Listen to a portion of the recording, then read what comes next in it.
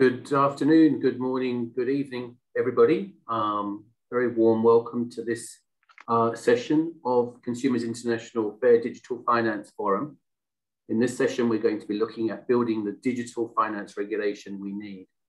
Um, just before we get into the details and then onto the session, um, just a little um, reminder uh, that you're very welcome to uh, add questions or comments um, in the session. And if you could please use the chat function to, to do that, um, um, that will help me to um, direct questions to the panel. And when you're using the chat function, please uh, remember to introduce, say who you are, which organization you're from, and where you're, you know, where, where you're joining from, which jurisdiction you're joining from. That would be very um, interesting and helpful. Um, if we go to the next slide. Uh, so as I said, this session is all about building the digital finance regulation we need. Uh, the, it's part of the Consumers International Fair Digital Finance Forum this year, which obviously coincides with uh, uh Consumer Rights, uh, World Consumer Rights Day on uh, it's tomorrow. Um, the objectives of this session are to share successful approaches to digital finance regulation that protected and empowered consumers during the COVID-19 pandemic. Um, particularly, we want to have a think about what have we learned over the last two years and how will this help us mitigate the future challenges on the horizon in the digital uh, finance marketplace. Uh, it very, it's very much, of course, aligned to the overall theme of, the, of this year's forum. Um, and of course, it goes without saying that digitalization has massively increased over the last couple of years in the context of the pandemic and touches the lives of of almost every consumer, uh, wherever they are around the world. If we go to the next slide, please, Ruby. So I'm Miles Larbey. It's my pleasure to be acting as moderator for this panel. I'm the head of financial consumer protection at the OECD, um, and I lead the OECD's research, policy, and standard setting work in relation to financial consumer protection, working with governments right around the world, um, OECD G20 FSB member countries, but also, uh, as I say, countries in every continent around the world. And it's my pleasure um, to be moderating this session. And uh, at the OECD, we work and collaborate with Consumers International on, um, on relevant topics. And it's our pleasure to, to do that and to support uh, Consumers International in this initiative as part of uh, this year's forum um, and related initiatives as well. For example, the, uh, the Fair Digital Finance Accelerator that I know uh, is going to be showcased uh, during the course of this week. Uh, if we go to the next slide, I'll just briefly introduce our panelists. I'm delighted to be joined by four excellent panelists from jurisdictions around the world. Uh, we have Kheertee Ramsohok Heerasing, Head of Regional Centre of Excellence from the Financial Services Commission of Mauritius. Jose Vasco, who is the Director of Investor Protection and Education at the Securities Commission of Brazil. Supriya Syal, who's the Deputy Commissioner at the Financial Consumer Agency of Canada. And Adam Wright, Senior Counsel, California Department of Financial Technology Innovation. So a, a really uh, interesting uh, panel with bringing perspectives and experiences from, from countries right around the world um, to uh, explore this issue, issue of the digital financial uh, regulation that we need. Um, I'm just going to start uh, by a few uh, scene setting comments, if you like, uh, drawing on work for, that the OECD has conducted at an international policy level on this topic of digi digitalization and how the experience of the pandemic has perhaps um, accelerated digitalization and some of the impacts of that and how different governments around the world have responded. So if we can go to the next slide, please, Ruby. Um, I'm going to draw from, and just briefly mention some of the highlights from a major piece of work that the OECD conducted last year um, in, um, in collaboration with the G20 to look at the impact of the pandemic on financial consumers and the range of policy measures uh, that were put in place by countries around the world, uh, the lessons learned and the effective approaches.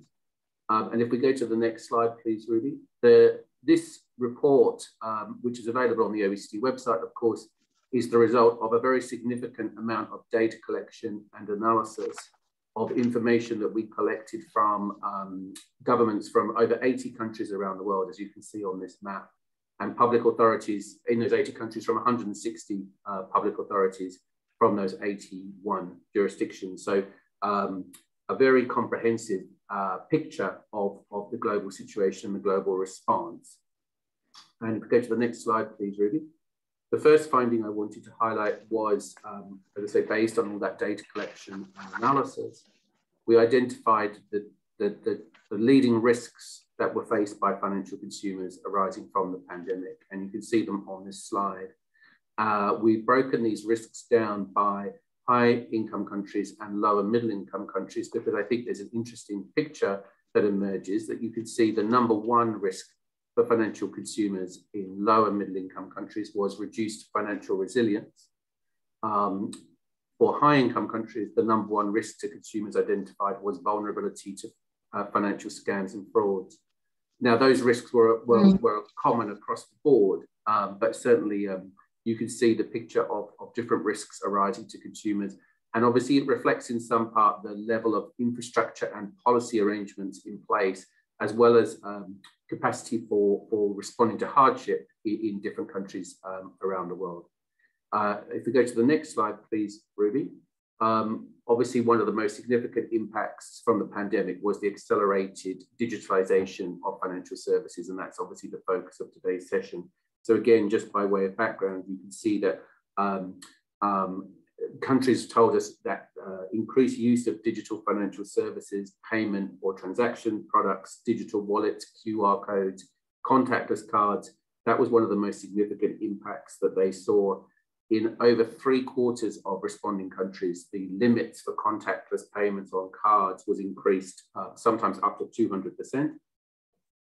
And of course, we can see that digitalization played a very important role in mitigating the impacts of the pandemic because people were able to continue to transact and, and, and access their uh, financial services. But at the same time, uh, there, it of course created uh, the increased risk that people who, who can't or don't want to transact digitally, whether it's because of low digital capability, low financial literacy, or lack of access or infrastructure, of course, there's a risk of increased exclusion uh, for those people um, in different places around the world.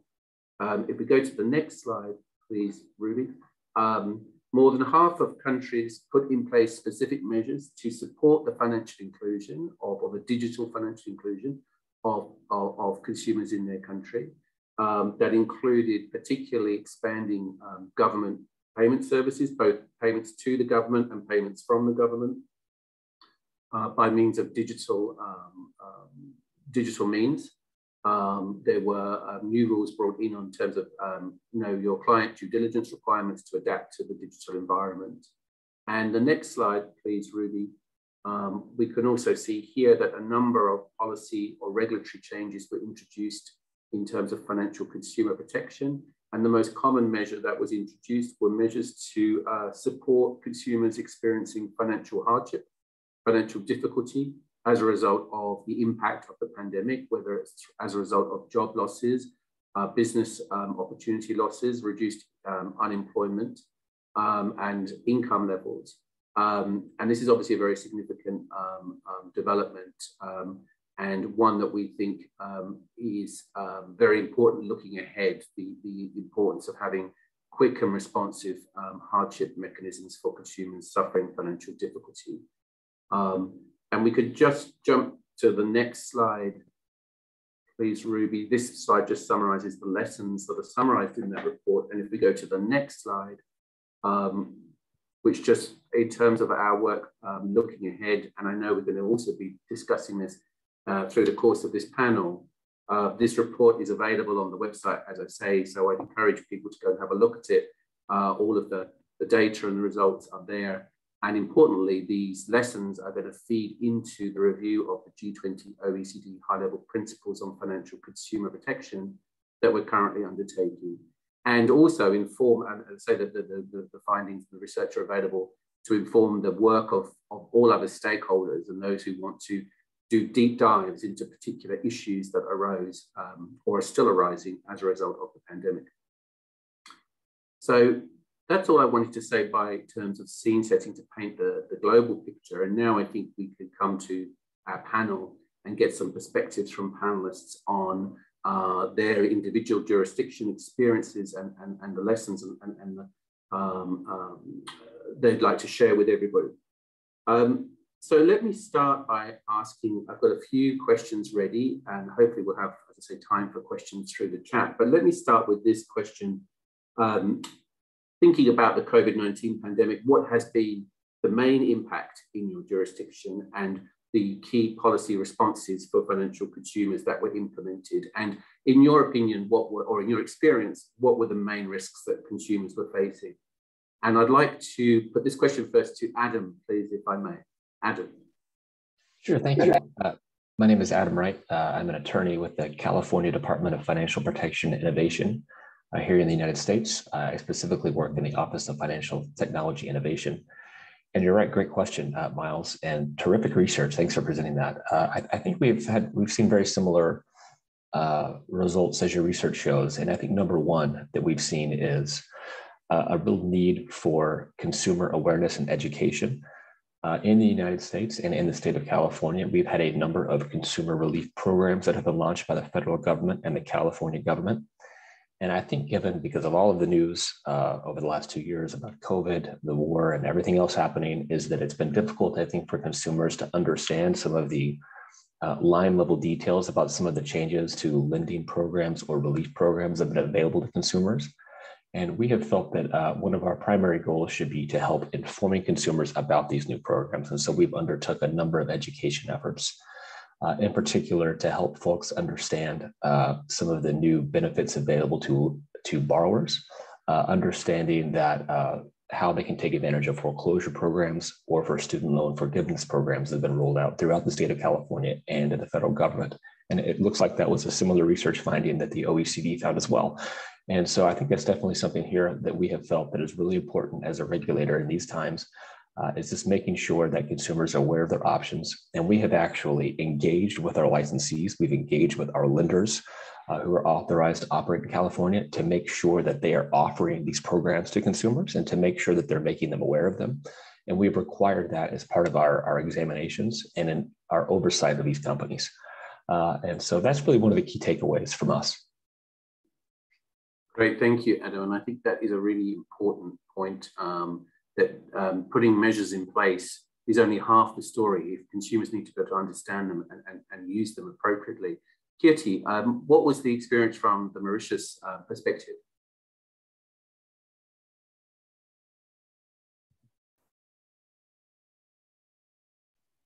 Sorry, um, can you hear me, Miles? Yes, yes, perfectly. Okay, I was just muted. Um, so thank you for that uh, robust, like Adam said, uh, terrific uh, presentation and research on, on the digital finance and consumer rights.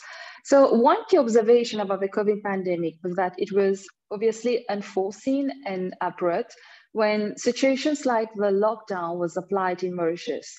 So this meant that the financial systems, particularly the banking and the payment systems, had to adapt overnight to the new means of doing business, especially electronically. So basically the consumers at large could not be prepared in advance, nor could there be situations of training or information being provided to them. Therefore, um, in the case of COVID-19, the main situation that arose, especially for Mauritius, was that there was an overnight shift from a largely cash-based society to an electronic means with the problem on both sides. Um, that is, the consumer side, there was lack of preparedness. And uh, on the merchant side, there was also uh, lack of preparedness who were not fully prepared to go online. Um, at the same time, there was the delivery channel, which was the missing link in Mauritius. So we should not forget that Mauritius is a very small island, and uh, therefore online purchase was not uh, something uh, which uh, was a regular practice. So um, in short, the delivery of services uh, was not fully functional. Furthermore, um, during the COVID-19, we went through an overnight lockdown for about three months. And that lockdown meant that even the movement of people and the delivery channel were controlled, um, there were number of there was a number of disruptions coming in in these areas. And uh, this brings to my other point as well that following those disruptions, uh, many organizations' business continuity plans did not cater for COVID as there were no free movement of people. Hence, both the consumers and operators had to operate uh, in this situation. Um, also, this brings me to my last point where the, the government had to come up with the work from home concept. And this was not part of our culture. So it was very difficult for um, people who are less IT skill or technology savvy to adapt to this new culture. So um, coming up to the part where you say um, who were more, I think you say, uh, who were more vulnerable. So um, in the Mauritian context, we saw that the youngsters were more adaptable to the tools rather than the senior citizens because they were more skilled in IT. And uh, during uh, that time with the um, work from home concept, um, buying everything online. So we had to use more devices and for senior citizens, that was difficult.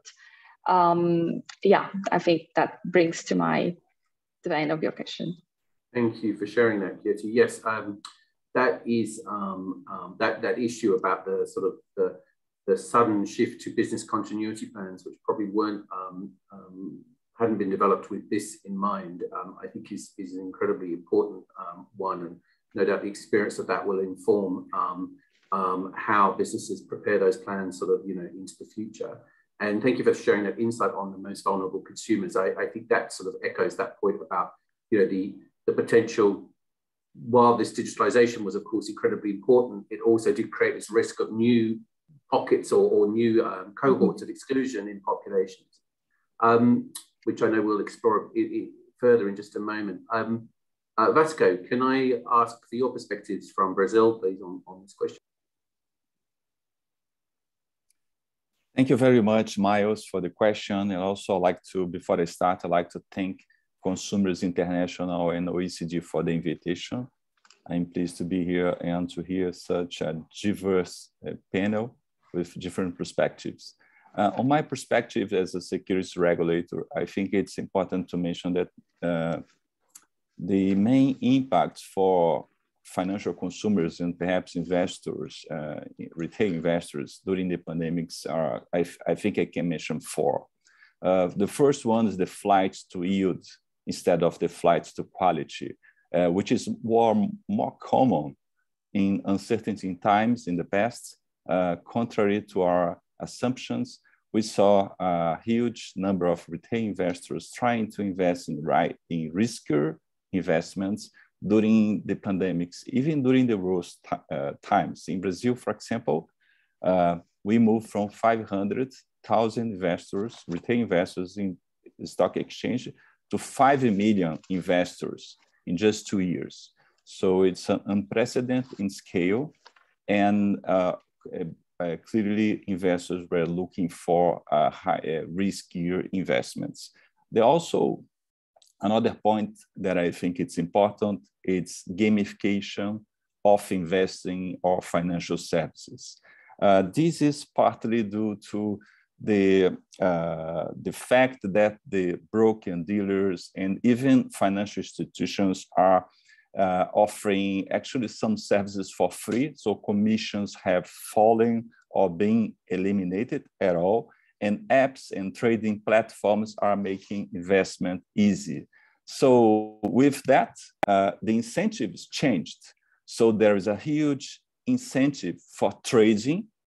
And of course, the financial service needs to be paid by the end of the day. So the, there are different incentives with new participants uh, actually paying for the flow of orders. Uh, so a lot of incentives to people to trade, even in some investments that are not good for themselves.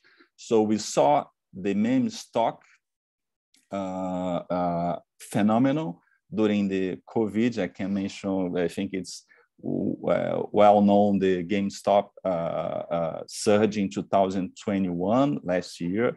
SEC uh, published a report on the causes of this uh, uh, of this uh, phenomenon and how to address it. There are some considerations about market infrastructure incentives that are very good, but just to mention that the the, the investors that were trading options uh, moved from 58 million US dollars on January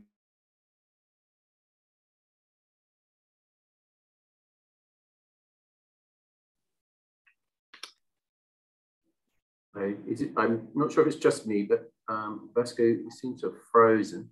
Yeah, I think we've lost Vasco Miles. I'll try and work out around the background.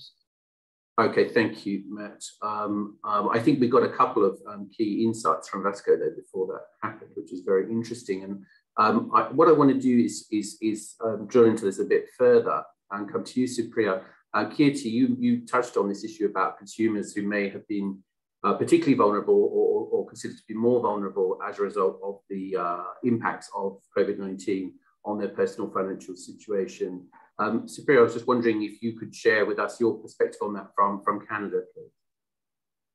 Thank you. And I also, I'll also say thank you for inviting me uh, to this session. Pleasure to be here with all of you. I work uh, for the Financial Consumer Agency of Canada. Our mandate is to protect financial consumers. So we have been closely monitoring changes in Canadians' financial well-being through the pandemic uh, through a monthly nationally representative survey that we started in August of 2020 and continue con- continue to field to this day and intend to continue fielding until uh, the after times of this pandemic. One day they will come.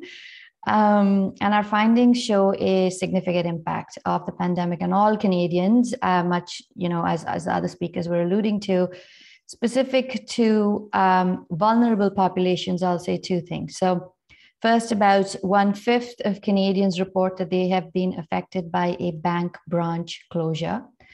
Now, it is generally true that it is lower income or more vulnerable consumers, such as say, those with a disability, who are most affected by bank branch closures. And that is what we find in our data linked to the pandemic as well. Uh, and as you were saying uh, at the beginning, Miles, the pandemic, of course, has accelerated the move to digital.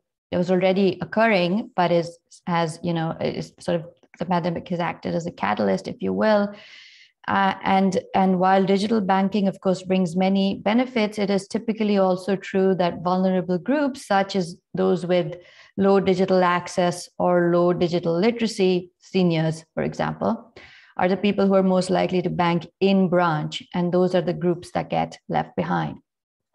Second thing I'll say is while over half of Canadians report an increase uh, in stress linked to their finances, this was especially true among women in, in our surveys uh, and also people, others with you know, part-time or precarious work, which again, I'll say is not surprising because economic shutdowns and slowdowns most often impact people already living on low incomes, and women in particular are more likely to work in fields with precarious positions and low incomes. The last thing I'll say is uh, we, you know, we think of financial vulnerability as a state rather than a trait. Uh, and any and all demographics, you know, can find themselves in a state of vulnerability as this pandemic has revealed. At the same time, systemic barriers have led to some groups being especially susceptible to negative financial outcomes. And those are the groups we see as the most vulnerable in, in the data that we have. So um, we continue to man- monitor, share our data with uh, well, well, anybody anybody who wants it, uh, so that we can collectively learn and, and adapt our approaches. Thanks, Supriya. Um, and that's a very generous offer to share your data and maybe some of the, the uh, attendees on the call might, might want to get in touch with you because um, having data is just so important. Um, and interesting, and not, I guess, surprising that you, um, um, Kheertee and, and yourself have both mentioned um, people with low access, digital literacy, um, particularly elderly, in terms of this digital transformation, if you like, or acceleration as a result of, of the pandemic. Um, I want to sort of stick on this theme of sort of the response to the pandemic, but perhaps now um, look more at the role or, or, your experiences of industry responding to the pandemic and, and, sort of certainly from the viewpoint as a as a regulator or a conduct supervisor. Um, one of the things that we found in our research was that you know, many uh, governments, supervisors, and industry participants or industry associations work together in some ways to try and ensure that the, the response to the pandemic was coordinated. But of course, a lot of the frontline measures were being um, implemented by um, industry participants, and, and Adam has already highlighted the issue of perhaps measures being implemented and the consumer understanding of that. Um, I want to ask um, about the what have you seen in terms of um, really positive responses from industry participants in terms of assisting consumers during the pandemic and of course conversely and as a supervisor this is sort of goes with the territory have you seen any instances of, of misconduct or unfair practices from industry participants um, um, sort of in, in this sort of context and Supriya, I'd like to sort of um, continue with you on this question first, if, if I may. Thank you. Yes, uh, thanks, uh, Miles. So we've been encouraging our regulated entities, banks, to find ways to ensure that consumers continue to have access to financial services at, at reasonable cost. So early in the in, in the pandemic, at the behest of the Minister of Finance here in Canada, banks in Canada provided a number of relief measures. And we, FCAC, uh, asked for and received weekly data reports from the regulated entities on these measures so uh, a few pieces of data, you know, payment deferrals were granted on 775,000 mortgages, lowered interest rates, fee refunds, or payment deferrals on about 650,000 credit cards, payment deferrals or lowered interest rates on around 500,000 auto loans, personal loans, or lines of credit. So data we received from the banks also show that while each regulated entity had its own qualifying criteria, consumer requests were generally approved in, in a timely manner. Most consumers who applied for financial assistance from a bank received it in, in some way. Uh, provided you know their account was in good standing and they self-declared that they had been negatively impacted. Now, in addition to the data that the banks gave us, we also conducted a monthly survey to understand consumers' use of banking products and services. And this ran from July of 2020 to April of 2021. So our last round of data is what I'll refer to now. And that showed that about 54% of Canadians uh, reported receiving information from their banks on COVID 19. And nearly two thirds reported being aware of financial assistance being offered by banks. And based on the same survey, we also know that the strongest predictor of taking financial assistance was a decrease in income. At the same time, 31% of Canadians, about a third, also reported paying additional bank fees because of the COVID 19 pandemic. And our data show that it was lower income, vulnerable Canadians who were most likely to pay fees such as overdraft fees or non sufficient fund fees. Thank you, Supriya. Um, Adam, can I turn to you next, please, for the perspective from California? Yeah, of course. Uh, you know, when it comes to industry participants responding positively to the challenges of COVID-19, uh, the, the, industry we think comes to, uh, to mind, top of mind to us here in California, has been the response from our, our non-bank residential mortgage providers and servicers.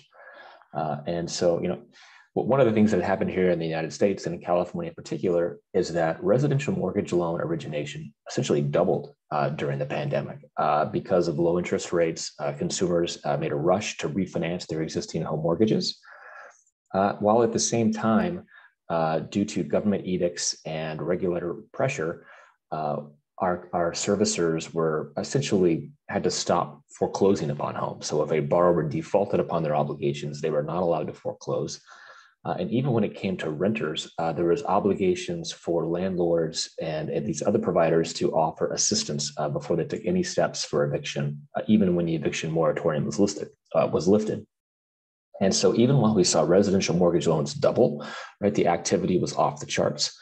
Uh, we saw some uh, very interesting statistics on the complaints and the foreclosures. So there was a 68% decrease in foreclosures, uh, even after the foreclosure moratoriums were lifted. And we saw a 19% decrease in complaints. And so it's, it's been interesting as a regulator uh, to respond to this because a lot of our traditional activity and oversight was to the mortgage industry. And so now we see mortgage industry complaints reduced. Uh, in conjunction with that, we saw a huge drop in our payday short term lending product volume.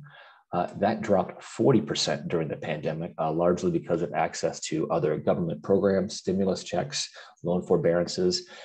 And really, I think critical is, you know, payday loans in California are something that folks are typically a brick and mortar. You walk down to a local store to get a short term loan.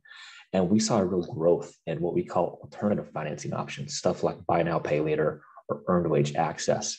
And so we've really seen a shift from traditional mortgage and payday to kind of a new world of digital finance. And we've had to kind of recalibrate our focus uh, accordingly. That's so interesting. Thank you, Adam. Um, I guess interesting to see if the uh, the low mortgage complaints continues sort of, you know, in the years to come, uh, particularly with that significant, a massive increase in people taking out mortgages. And it's interesting to flag buy now, pay later. I guess, you know, um, paying, pay, a lot of regulators and supervisors have paid so much attention to payday lending, um, uh, rightly because of the risks.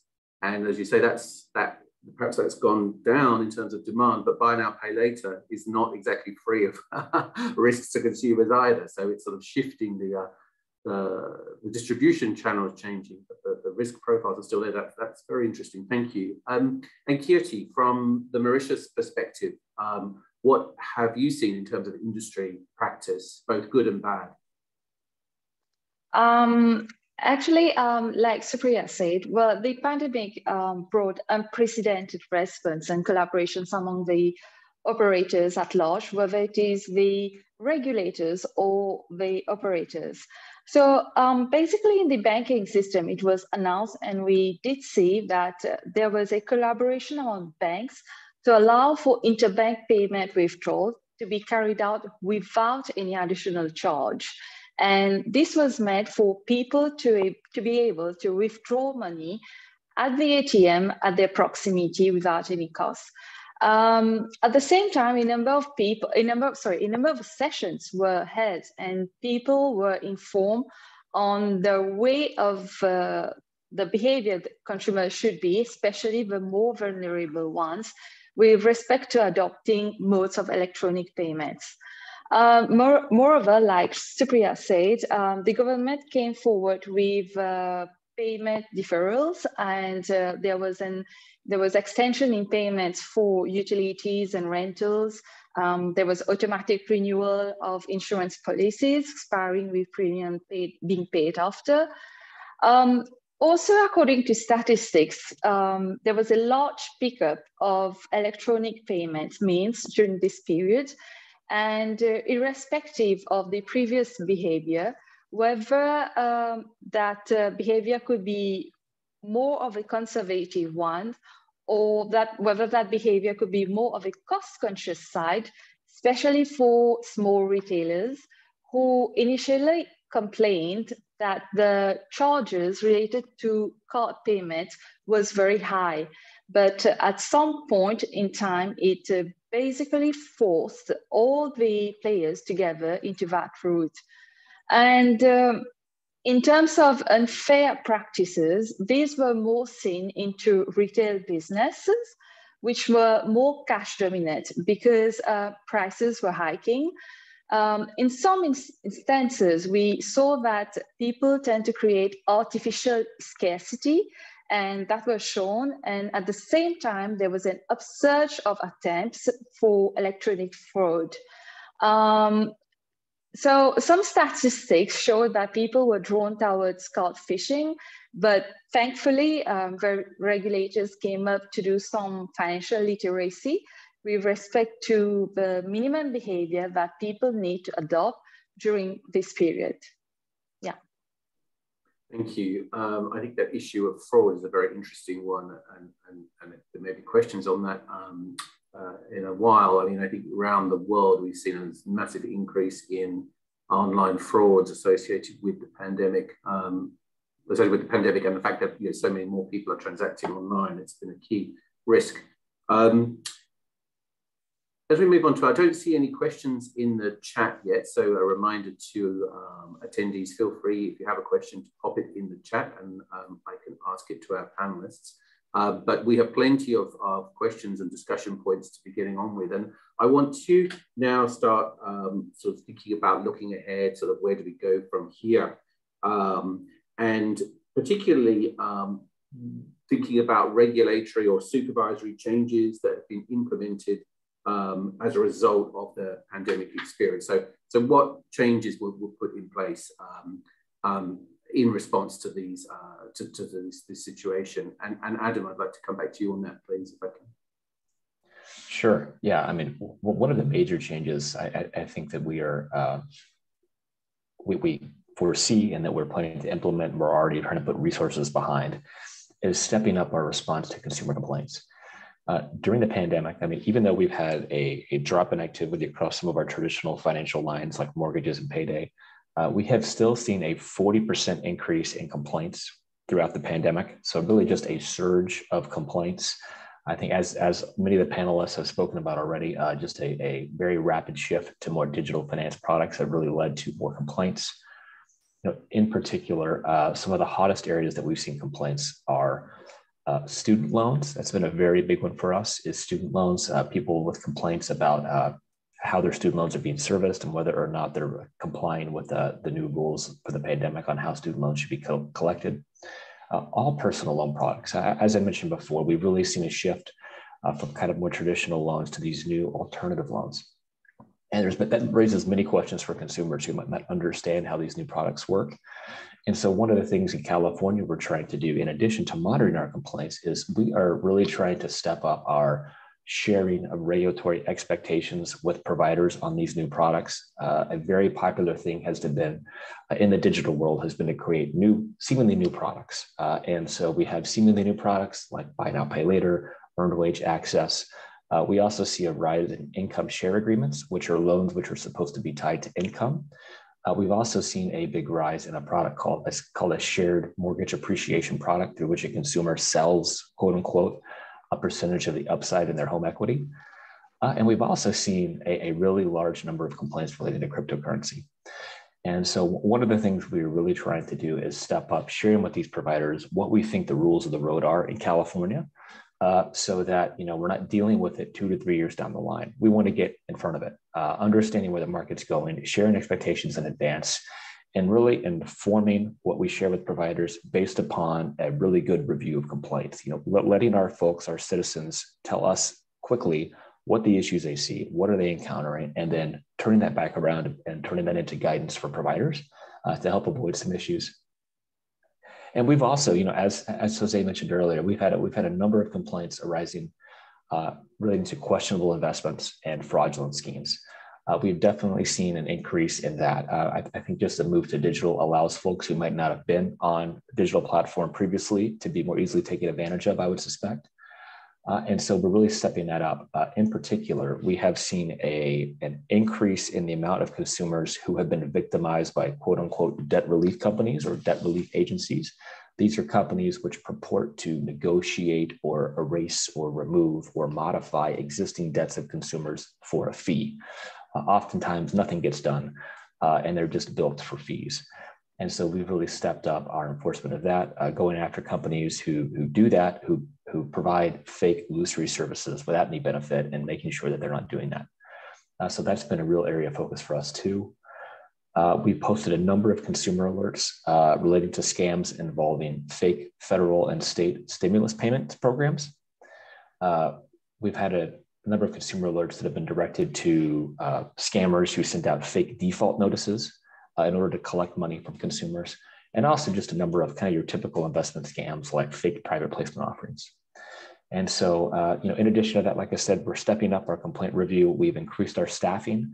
Uh, we've increased our review. We're trying to get higher level and taking away the trends, understanding where it's going, uh, and then sharing that back. Uh, for example, another way in which we've shared that back to our industry participants and our companies is we've been giving uh, increased debt collection advisements to companies in California, uh, instructing them on how they should and should not be collecting debt, not just mortgage debt, but general debt in California uh, throughout the pandemic. Perfect, thanks, Adam. So a lot of um, a lot of activity there, and once again, um, you're underlining um, through the use of your enhanced use of complaints data, uh, the point that Supriya was making at the beginning of the session about the importance of collecting data and, and, and making use of it in a regulatory to inform regulatory or supervisory approaches. Um, what about in Mauritius? What have been some of the changes from a regulatory or supervisory perspective that you've put into place at the Commission? Um, it was um, the main regulatory and supervisory changes were implemented mostly by the central bank. So during these days, um, just to recall that Mauritius is and comes under the purview of the National Payment Systems Act, also known as the NPS, which fall under the purview of the central bank. So the central bank did intervene, um, as I have already mentioned, to request banks to waive the interbank charges when it comes, sorry, when it comes to card transactions and uh, for cash withdrawals. So um, also the limits per item transactions, these were relaxed to allow for more electronic transactions to go through.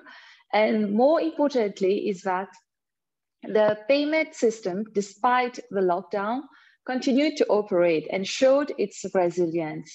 So all these activities were carried out remotely, but the whole of the payment system operated during the pandemic in order to allow interbank transaction to be carried out.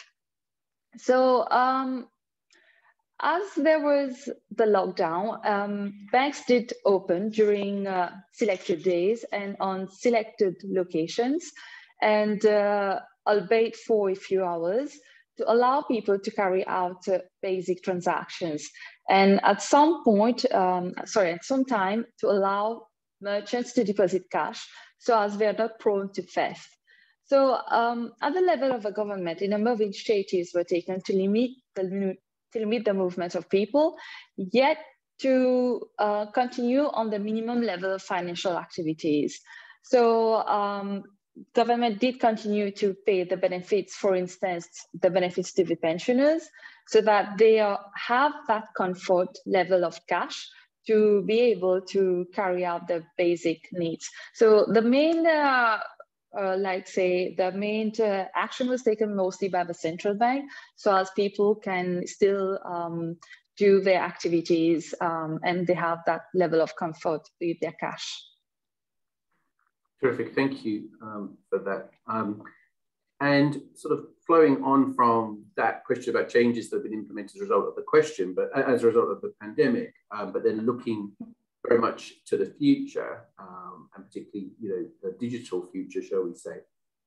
So thinking about all the different sort of risks and, and analysis um, and experiences, as well as, you know, what you're seeing so generally in, in, in your jurisdiction, what do you think are some of the key regulatory or supervisory changes, or perhaps we've talked about some changes, perhaps areas of focus or activity that you, uh, your organization will be um, thinking about in terms of protecting consumers in the, in the years to come?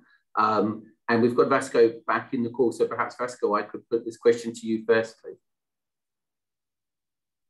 Uh, thank you very much, Miles, and apologies for the problem with the internet here. Uh, I think before uh, I mention some of the questions that we are looking to, I've, uh, I should mention that geopolitics can change, considerations can change everything. So perhaps for anyone watching this uh, session in one, two, three years, uh, may say that now how these people are naive or making these uh, considerations. So everything can change.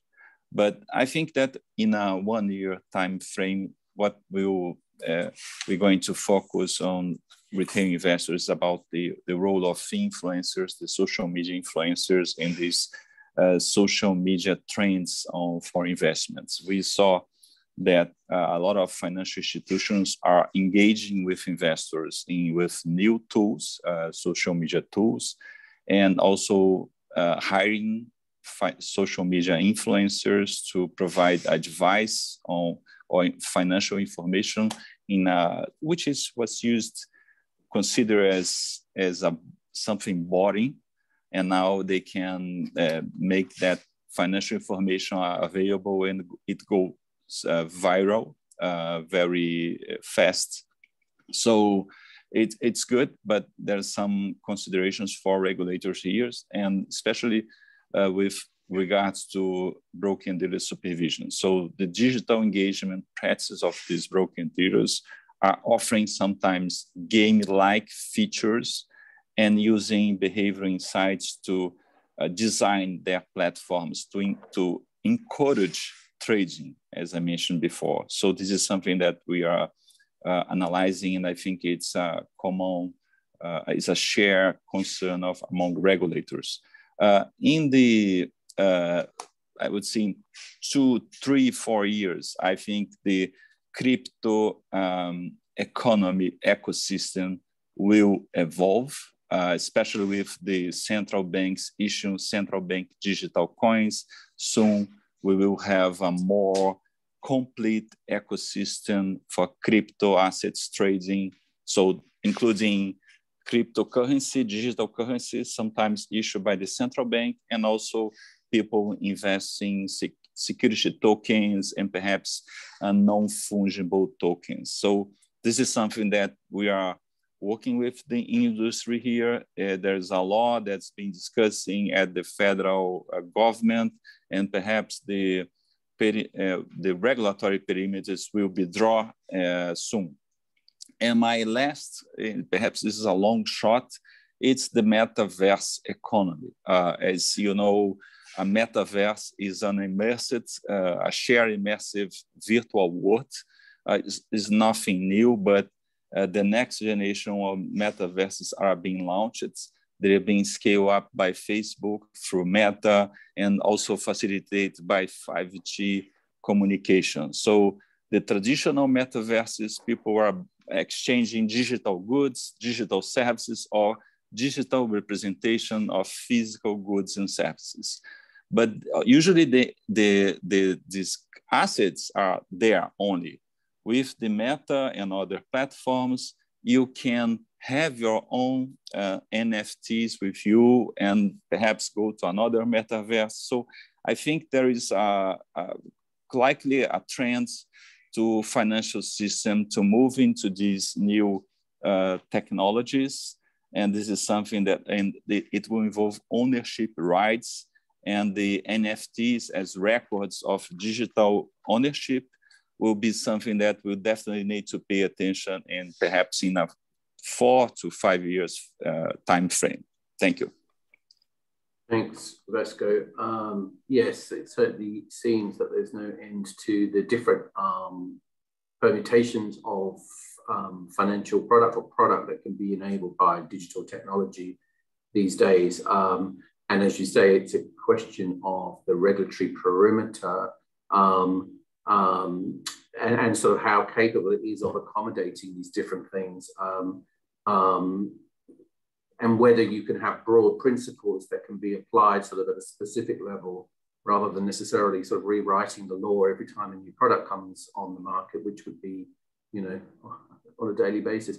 Um, so very interesting. Thank you. Thank you for sharing that, Vasco. Um, Supriya, can I come to you next, please? Thanks, Miles. So uh, we are busy in Canada working to implement Canada's new financial consumer protection framework, which was enshrined in legislation a couple of years ago now. It contains 60, about 60 new or enhanced measures to protect financial consumers. And it, I think, shifts and uh, signals an important shift uh, in focus from more prescriptive regulation to regulation focused on better outcomes for consumers, which I think speaks to the point you were just just making about, you know, are there broad principles, broad principle-based approaches that we can employ? Uh, but if you will allow me to zoom out uh, for a second, I'll say, so, you know, 87% of Canadians now say that they can, can they manage their finances using the internet. Uh, so the biggest change in the financial sector, which is of course also the topic of this forum, is, is the digitalization of, of finance. And as per our current as per current projections, we're, we're sort of going to be developing an open banking framework for Canada within the next one year time frame. So this is all very relevant and pertinent to us. And what I'll say there is, is that, you know, the and this is my sort of zoomed out perspective, but the digitalization of financial services, just like the digitalization of most aspects of our social or economic lives, is, is not a neutral force, right? On the one hand, new technology brings the potential for innovation to unlock tremendous value for financial consumers and solve seemingly intractable problems to make financial services infinitely more fair, more accessible, more inclusive. On the other hand, technology also tends to create new problems as it solves old ones. So, fraud, exploitation, data breaches, algorithms that reinforce stereotypes and increase discrimination. I mean, I could go on. But I think the, the thing that we're really sort of grappling with in, in at the FCAC and in Canada broadly is, is what I'm about to say, which is that innovation is about making the status quo, is about questioning the status quo to make something better. And we need that. But making making things better for some should not mean making them worse for others. So I will say our challenge as regulators in the next one to three year time frame is really how, in the context of digitalization, how do we promote and even foster innovation for the benefits it can bring to consumers in the form of choice, access, inclusion, better product services, while making sure that consumers remain protected, particularly the most vulnerable. And then the second piece I'll add is given what we've learned over the last two years, how do we make sure that what we've learned from COVID and what it has taught us about the critical importance of banking infrastructure during a crisis. How do we, you know, take that and ensure that these new online financial frameworks, if you will, or products, services, don't inadvertently increase barriers to access, again, especially for the most vulnerable. We think the best way to do this is to engage with and understand the financial consumer, either through research that we do directly or through consumer or through engaging with consumer advocacy organizations that can help us understand you know how we can how we can work together to to hopefully find the answers to these these tough tough questions thank you Supriya. i really like what you said there about um, technology, digitalization, the benefits and the risks, but it's not a neutral, it's not a neutral force. Um, Kheertee, can I come to you next, please, in terms of your views about what's coming up next? What, what are the area of focus for the future? Um, indeed, um, for Mauritius, we also see the emergence of other means of payment, basically those related to cryptos, where consumers could be very easily lured to, and therefore they could lose their investments depending on the way people sell their products. So um, on the Mauritian context, we do have enshrined our laws the requirement to have the consumer education and consumer protection taking both from the banking and non-banking regulators. At the level of the non-bank regulators, we um, have the mandate to uh, of the Financial Services Commission to carry out financial um, literacy. And this is done through the Financial Services Fund. And they have got a full range of programs um, where they can reach out to, um, to the public um, explaining the need to have a good financial educations. So um, institutions seize every opportunity to talk to consumers about risk that happens um, for into any product or anything that come into the market. So um, what happens also with regards to the Financial Services Commission, it was not exactly due to the pandemic, but it just came during the pandemic, two new products that aims towards the digital finance of the mass. One was the peer-to-peer lending, and the other one is crowdfunding, both aim to be disruptors of the traditional banking systems of raising funds and uh, are currently being picking up. So we already have two operators in the P2P and sorry, peer-to-peer, and one in the crowdfunding. And we see that the interest is uh, going on. And uh, for the banks, for people to, um, it will help uh, it will be alternative for banks like to the banks for people to raise money and even aid um, SMEs with respect to raising funds and doing business. So in future, the regulatory and supervisory changes will continue to evolve. Basically, we take a yearly approach to see what are the regulatory changes required whether um, it is to protect or the consumers or whether it is to come up with new products that will eventually um, enlarge the financial landscape. So going forward, the commission, the Financial Services Commission is coming with what we call the captive insurance business and the real estate investment trust and we will also go in the area of licensing and service providers in the crypto and virtual assets areas. So, yeah. Thank you. Thank you, Kheertee. Um, so quite a lot uh, on the horizon for you there. Um, and Adam, um, let me bring that question to you finally. Sure. Yeah. And, and echoing some statements I think others have made, which I think are terrific in that, you know, California, we consider uh, one of our strengths to be our diversity of our communities in California. And, and we believe going forward that one of our, our key focuses and something that's going to animate all of our activities is going to be ensuring that uh, we, our providers, and that everyone in California is uh, promoting financial inclusion and reducing barriers of access.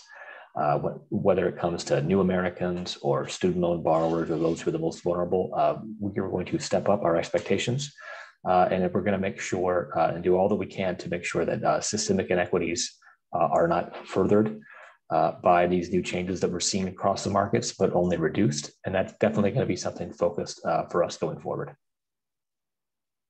Perfect. Thank you. Thank you so much, Adam. Um, and thank you, everyone. That's um, sort of the end of our sort of um, formal or, or pre-planned questions that I had for our panelists. We've got a few questions in the chat I think we've got time to respond to quickly.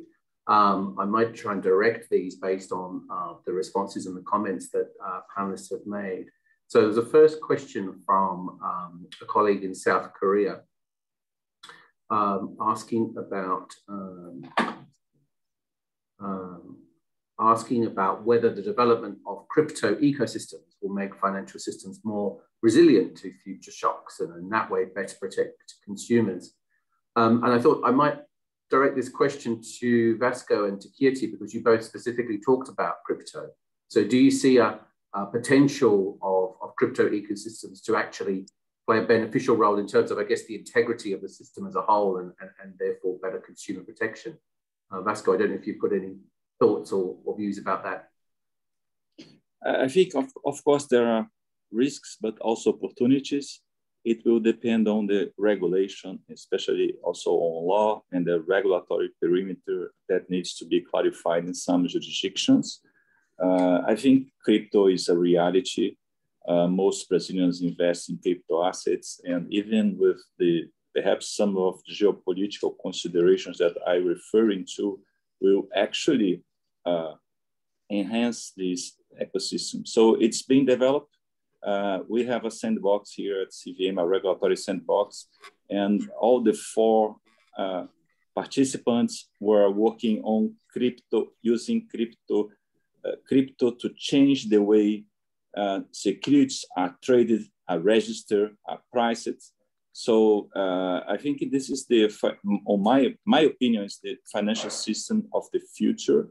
So we cannot fight the future we need to support investors and also to the financial innovation. So my last comment is that uh, we, I thought I fully agree with the a new mandate for regulator, which is an innovation facilitator. Uh, our economy needs there, and we need to be actually open to financial innovation in many areas. I think it will be beneficial if we can handle this uh, complex problem very well. Thanks, Vasco. And Kheertee, from your perspective, do you see potential um, in the development of crypto to, to better protect the integrity of the system and the consumer?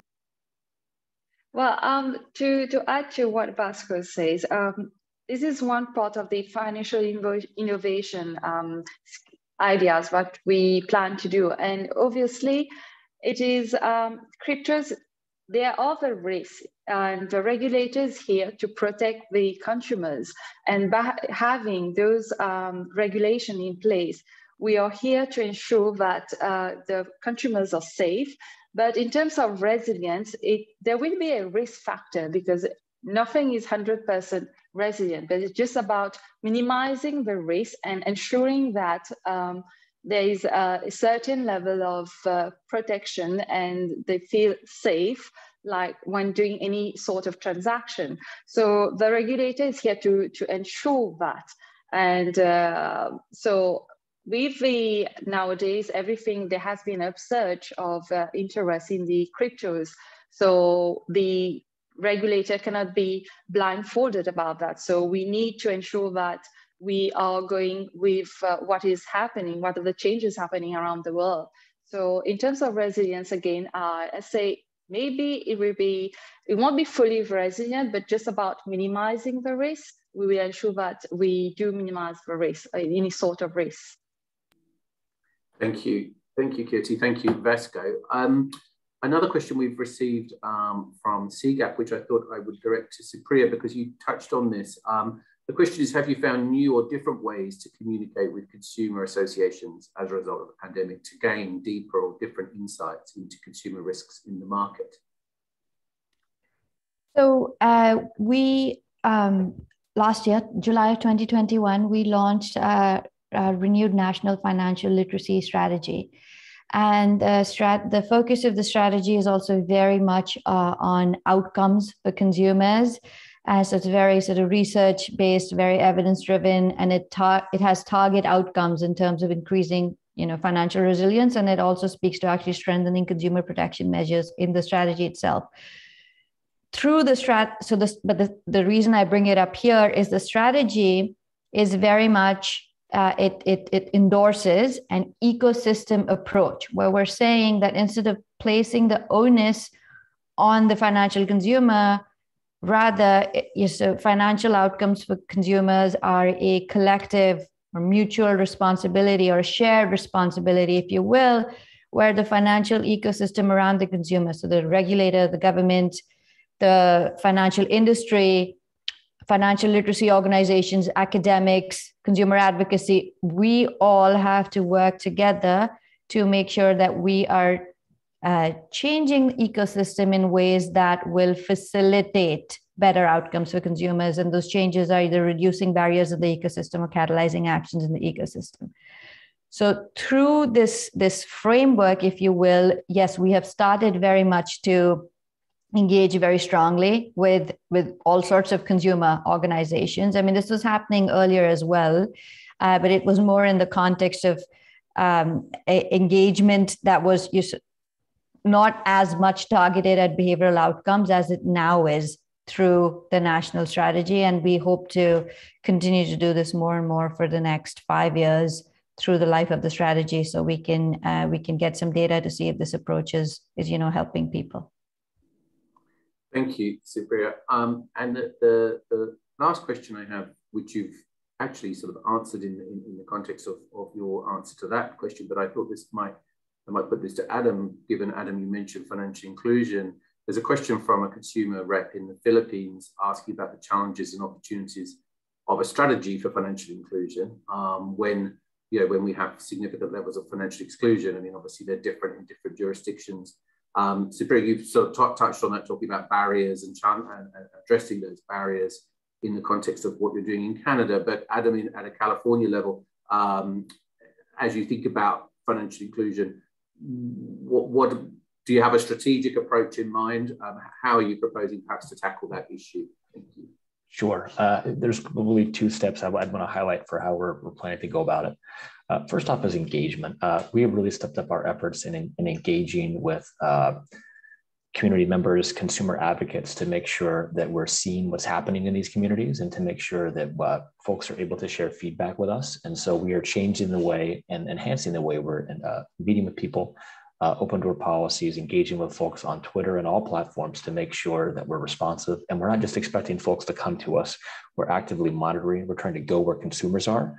Uh, so whether that's Reddit or App Store reviews or wherever it is to try to make sure that we understand what's happening in our communities, uh, but also research. Uh, we're investing in our research capabilities. We've recently hired a research department uh, who's going to be spending time uh, collecting data on how products are used and to make sure that uh, we consider uh, the communities who are using certain products as we go about regulating them. And so before we make decisions on whether or not a product uh, should be tailored in a certain way or it needs to meet certain requirements, we want to make sure we understand uh, who these products are serving uh, as we do that. And so for that, we need to have research, we need to have data.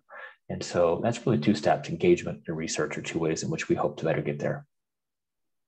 Terrific, thank you, Adam. That's been a bit of a theme throughout this session. Um, and that brings us to the end of, of this session. I'd like to very much thank uh, the four panelists. Thank you so much for, for sharing your thoughts and perspectives um, so generously today. Um, I see a comment in the, in the chat, which I think uh, sort of sums up um, part of the discussion um, and, and saved me from doing that. Um, uh, Kimura says we need to scale up safe, transparent, and responsive digital services and infrastructures. And I think all of our panelists have sort of touched on that theme very much so. So thank you, Kimura, for uh, helping me to summarize. Um, so thank you so much. Um, I, I, think I'm handing back to Matt from Consumers International. Um, thank you very much and have a good rest of the day, everybody, and a good uh, rest of the forum to Consumers International. Thank you. Brilliant. Thank you, Miles, and thank yeah. you, everyone. Take care. Goodbye. Thank you.